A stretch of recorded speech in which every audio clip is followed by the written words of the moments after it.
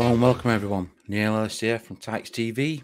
Bit of breaking news, transfer news. You've got Victor Adeboyejo has joined Burton Albion.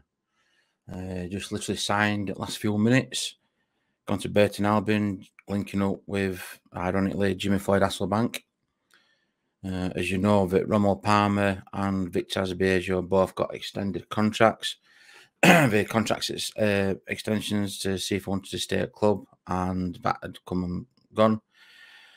Also, Michael Dufford, like said, you know, reiterated that you know it's, it's done and dusted. It's, it's time at balance kind of thing. It was just a matter uh, if when he was going to link up with another club.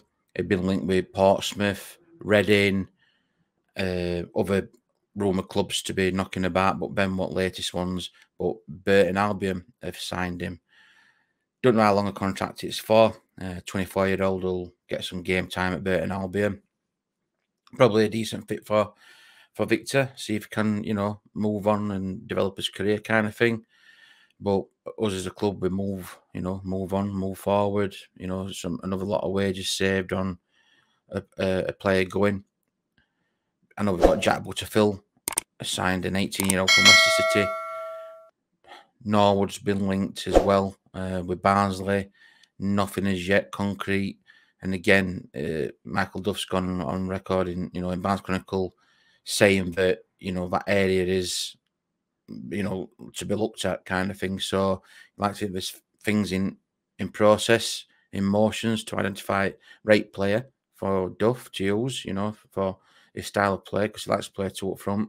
Is, we've got Iseka and Devante Cole, young Aiden Marsh, you know, coming, uh, Jack Aitchison as well, but he's more of a attacking midfield player rather than a striker, I, feel. So just thought to let you know, Victor Adeboyejo, John Burton Albion, um, good luck. One thing left to say, you Reds.